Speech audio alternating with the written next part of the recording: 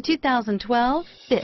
The Fit was engineered to be useful, efficient, and reliable. But its most important attribute is its innate charm and coolness. This vehicle has less than 15,000 miles. Here are some of this vehicle's great options.